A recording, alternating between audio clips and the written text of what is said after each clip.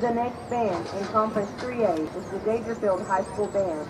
Their program is entitled Nemesis, a mashup of the most menacing comic villains to ever hit the big screen.